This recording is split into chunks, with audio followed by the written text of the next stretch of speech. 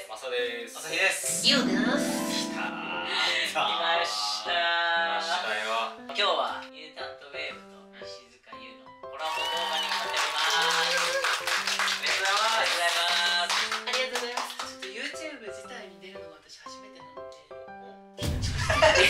緊張してる緊張し。し。てたらいいの？出だし。良かったよねだってし。っかりほら意識し。て青着てきてくれたからねそうですね。もうね1週間前ぐらいからあ絶対これ青がいいと思って青の服をすごいあの探してですねそれであの着てきた着てこさせていただいた資材でございますけれども。全部何か？全部そうです。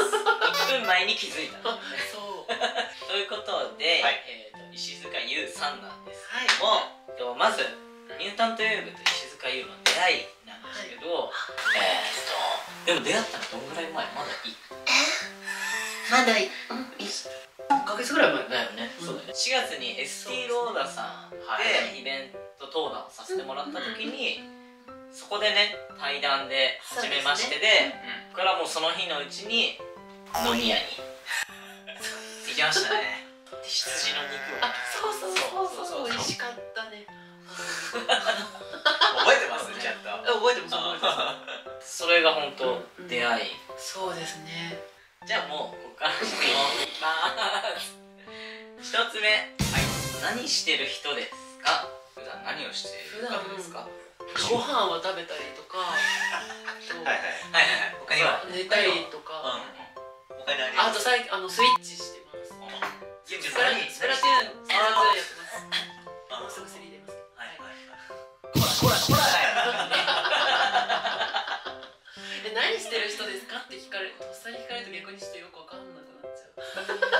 そうです。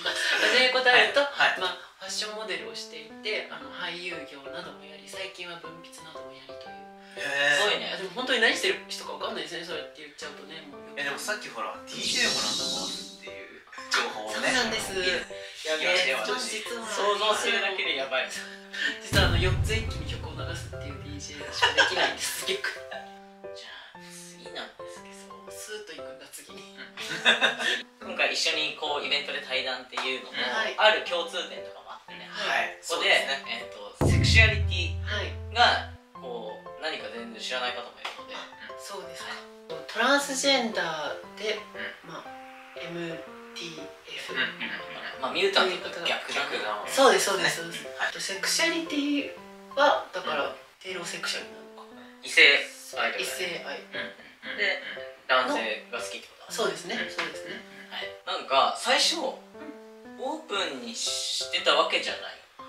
そうですね、もうわざわざ隠してもいなかったけど言ってもいなかっ最近だとそれを知ってる人も増えてきたと思うんだたけどそうですね。何をきっかけにオープンにもうしたの？か特にないです。特になし、まあもともとその別にそのクローズドではなかったうんんですよね、でそれがまあ認知されていくと同時にまあそういうことも言われるようになっていくからまあ何か人からこう憶測で言われるよりは自分でねあはっきりそれはオープンにこうですって言った方がいいなといううんことですかね、はい。かっこいいなるほどはい。そのセクシャリティについてになるんだけど、幼少期から性格だったりとかそれを見てこう親とかの反応うんうん。みたいなところとか認識ってどんな感じだったのかあもう私物心ついた時から実はもう違和感を結構明確に持っていて、そうなんだそうなんですよ、まあ周りももうそれはわかるじゃないですかなんかもう,、もう幼稚園とか入る頃からもう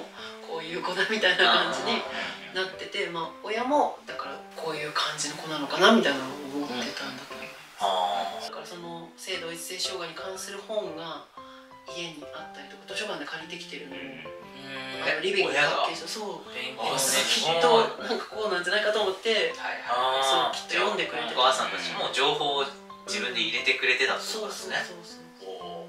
結構こうパンテーンの CM、うん。みんな知ってるっていう人がすごい。あこの人知ってる。って感じのありがとうございます、自分もそれでうん。ああえこの人この人もそうなの？って思ったのがあのパンテーンの CM だった。そうあじゃあその時にもうご存知でいらっしゃるあもちろんもちろん。だから「はじめまして」ってリアルで会った時も「あパンテーンの人だ」っていうのが自分の印象。そうなんだ。ありがとうございます。そうなんですよ。みんな思うんじゃない？パンテーンっていうか CM あの時ねシリーズっていうかさ就職活動をしているその女性だけど、ね。まあ、こういうふうに自分のなりたい姿になりたいっていう人からの石塚優だった気がするんですよねでもあれって結構もう全国に広まったというか、広告が配信されるってことは、結構周りからの反応とかもあったんじゃないかなあとすごいあって、うん。実家の周りあの京林堂っていうドラッグストア私浜松市なんですけど京林堂っていうドラッグストアのおなじみなんですよ。そこでモニターとかで流れてるよとか、まあ、逆に東京でもうん。そういうドラッグストアのそのはい。店内のはいパネルとかで流はいしてはいはい出てるよっていうのを結構言っていただいてうん。そうすごい嬉しかったですね。反響やっぱり大きい。反響はすごく大きかったです。髪綺麗だもんねありがとうございます。髪のモデル？髪の毛ヘアあそうですね。もともと。髪の。モデルをねもともと私あのヘアモデル。をやっててそれがきっかけでまあファッションの方をやるようにな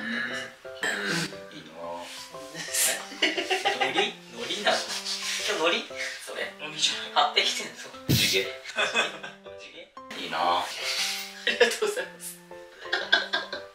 あ急に褒められるとどうしていいのかじ